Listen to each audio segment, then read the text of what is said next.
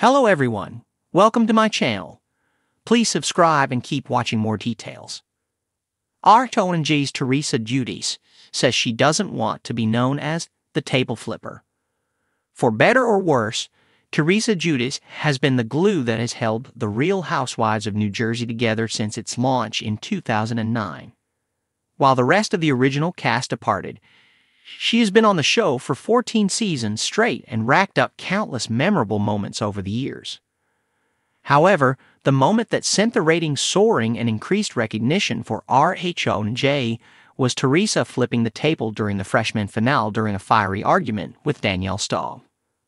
It's ingrained in pop culture because it was so shocking. There was nothing quite like it on reality TV then, so it makes sense that it's still talked about all these years later. Plus, it's possible that RHONJ wouldn't have lasted as long without everyone talking about the moment, because word of mouth undoubtedly helped. In a recent interview with Us Weekly, the OG explained her thoughts on the moment and how she doesn't want to be remembered for being the table flipper. Teresa seems embarrassed that her husband, Luis Ruelas, is constantly reminded of her past because people say, he's married to the table flipper. Teresa is ready for a rebrand. I don't want to be known as that, but they love it, the 52 year old shared. Of course, Teresa has been caught up in other moments on the show that have caught a lot of attention, but the table flip is definitely one of RHONJ's most defining moments. However, it makes sense that she would want to distance herself from it because it occurred so long ago. Teresa's future on RHONJ is up in the air for the first time as producers aim to give the show a revamp sorts. Details about which cast members are returning have not been determined, but the aim seems to be to remove the toxicity. Teresa has been caught up in much of that in recent years. Could Teresa return to RHONJ? Still, there may be bigger fish to fry, such as Danielle Cabral and Jennifer Aydin, who were both suspended from filming following a physical altercation while shooting season 14. Either way, Teresa is staying booked and busy in the off season, which is more than can be said for some of her co stars. She's appearing in House of Villains season 2, which premiered earlier this week. The series puts a string of well known reality TV villains together in a house as they attempt to win a strategic and competitive game. In the world of reality television, Few moments are as iconic or memorable as Teresa Giudice's dramatic table flip during the first season of The Real Housewives of New Jersey, RHONJ. The now legendary scene in which Giudice lost her temper during a heated argument with former cast member Danielle Staub has become a defining moment for the show and a pop culture touchstone. The phrase prostitution whore echoed across living rooms and social media feeds cementing Teresa's reputation as one of the most explosive figures in the Real Housewives franchise. However, as Teresa Giudice looks back on her long tenure on the show, she reveals that she doesn't want to be forever known as the table flipper. For Teresa, the label has become reductive, limiting her complex identity as a reality TV star, mother, businesswoman, and survivor of public and personal challenges.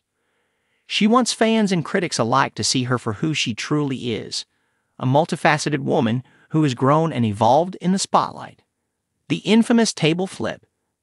To understand Teresa's desire to move beyond her table flipper persona, it's important to revisit the context of the incident. The table flip occurred during the season one finale of RHONJ, a dinner party that went from tense to explosive in a matter of minutes.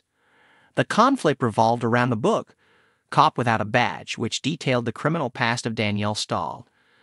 Accusations, insults, and raised voices flew across the dinner table until Teresa, feeling betrayed and frustrated, famously stood up, yelled, and flipped the table in one swift, anger fueled motion. The moment was shocking and for many viewers, thrilling. It became the kind of reality TV moment that producers dream of unscripted, raw, and unforgettable. Overnight, Teresa became synonymous with that one explosive act, and while it catapulted her to reality TV fame, it also created a lasting image of her as a woman with a quick temper and a penchant for drama. The burden of an iconic moment. While Teresa acknowledges the table flip's role in her career, she has expressed frustration at how that single moment has come to define her.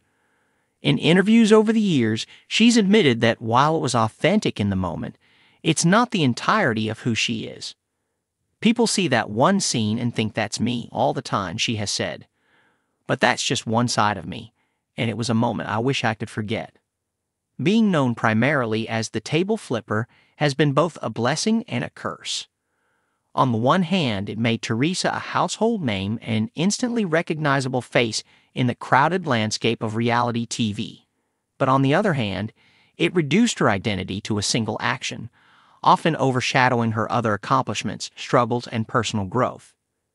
Teresa has said she understands why the table flip resonated with so many people, especially fans of the Real Housewives franchise, where drama is the main attraction, but she hopes that her legacy will extend beyond just that one moment. A story of growth and resilience.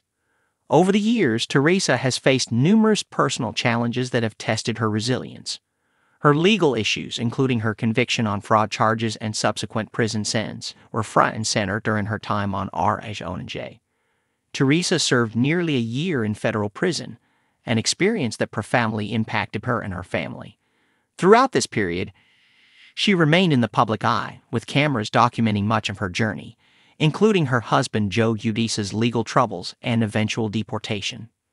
It was a difficult time, but Teresa used it as an opportunity for personal growth. She has often spoken about how her time in prison allowed her to reflect on her life, her choices, and her priorities. She returned to R.H.O.N.J. a changed woman, more focused on her family, her personal development, and her future.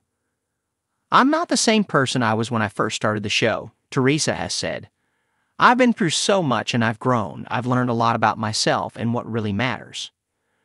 Despite the challenges, Teresa has built a successful career outside of the show. She has authored multiple cookbooks, launched her own line of hair care products, and become a sought after public speaker. Teresa's business ventures have allowed her to showcase another side of herself, one that's entrepreneurial, driven, and focused on providing for her family. Moving beyond the drama, while Teresa's time on R.H.O.N.J. has been filled with drama, she wants to make it clear that there is more to her than just conflict and chaos. In recent seasons, she has expressed a desire to step back from the constant fighting and focus on more positive aspects of her life, such as her relationships with her daughters, her marriage to Luis Ruelas, and her business ventures. I'm at a point in my life where I just want peace, Teresa has said.